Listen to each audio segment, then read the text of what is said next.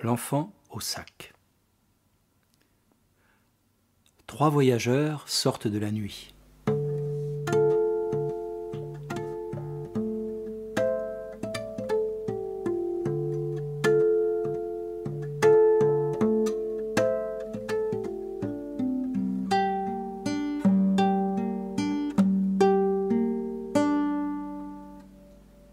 Le premier voyageur dit Il était une fois, dans un pays pas très loin d'ici, une coutume étrange. Dans ce pays, quand un enfant est prêt à parler, quand il est sur le point de dire son premier mot, on lui donne un sac de mots, un grand sac rempli de tous les mots qu'il pourra dire pendant sa vie.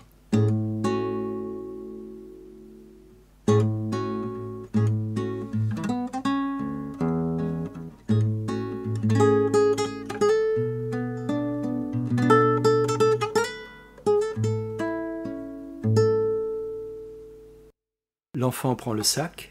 Le sac est lourd. L'enfant se courbe et titube sous le poids des mots qu'il doit porter, puis dire. Et il s'éloigne lentement en disant ses premiers mots. L'enfant grandit avec chaque mot qu'il dit, et le sac, lui, se vide lentement, mot à mot quand le sac est vide, quand l'enfant vieillissant n'a plus de mots pour dire d'où il vient, qui il est, ce qu'il veut, pour raconter son histoire, ses rêves, pour crier sa colère ou chanter son amour, on le met dans le sac, on referme le sac. Et on l'emporte.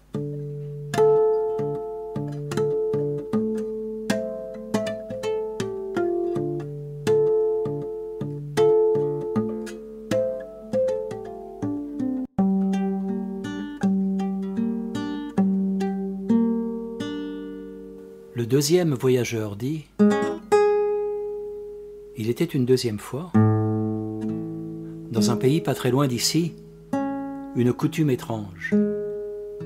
Dans ce pays, quand un enfant est prêt à parler, quand il est sur le point de dire son premier mot, on lui donne un sac de mots, un grand sac rempli de tous les mots qu'il pourra dire pendant sa vie.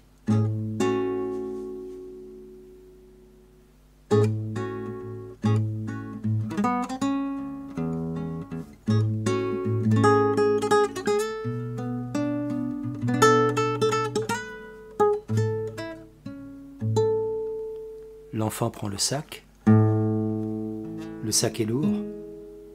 L'enfant se courbe et titube sous le poids des mots qu'il doit porter, puis dire, et il s'éloigne lentement en disant ses premiers mots. L'enfant grandit avec chaque mot qu'il dit, et le sac, lui, se vide lentement, mot à mot. Quand le sac est vide, quand l'enfant vieillissant n'a plus de mots pour dire d'où il vient, qui il est, ce qu'il veut, pour raconter son histoire, ses rêves, pour crier sa colère ou chanter son amour, il est libre et s'envole en tenant le sac. Le sac qui est maintenant vide de mots mais rempli d'air et qui l'emporte haut, très haut, vers un autre pays.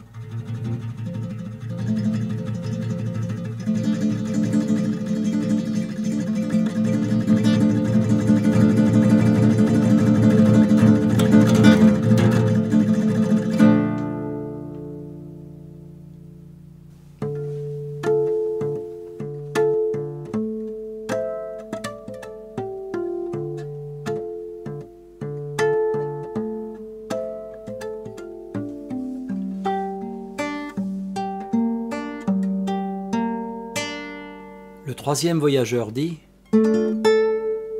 Il était une autre fois, dans un pays pas très loin d'ici, une coutume étrange.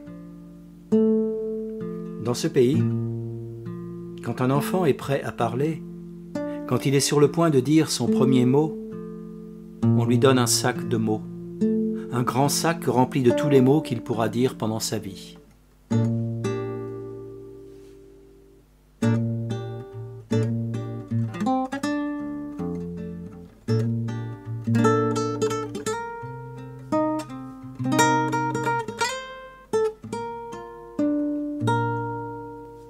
L'enfant prend le sac. Le sac est lourd. L'enfant se courbe et titube sous le poids des mots qu'il doit porter, puis dire.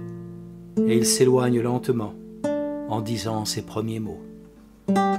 Mais un jour, un enfant ne dit pas son premier mot. Cet enfant qui était prêt à parler, sur le point de dire son premier mot, ne dit pas son premier mot et ne le dira jamais. L'enfant ne parle pas, et le sac, lui, ne se vide pas. Et cet enfant continue de marcher. Sans cesse, il marche, du pas de celui qui a trop marché pour courir, mais que rien ni personne ne peut arrêter. Il marche à travers le monde, en portant son grand sac rempli de tous les mots.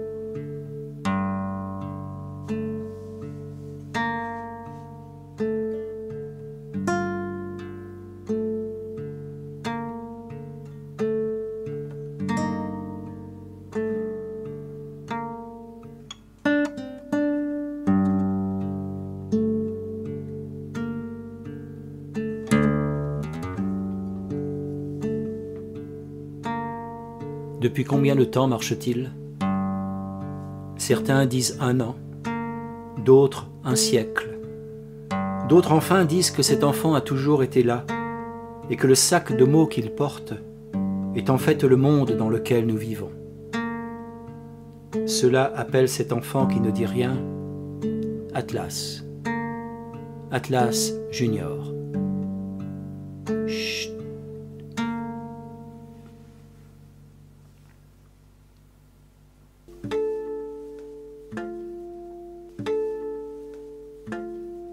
Écoutez le passé. Écoutez-le respirer. Écoutez-le rêver. Écoutez-le souffrir. Écoutez-le nous porter. Écoutez-le. Écoutez-le. Écoutez-le.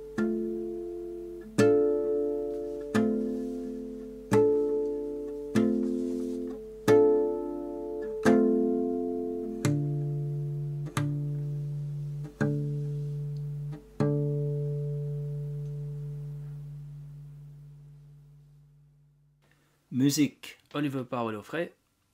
Texte Gilles Offray.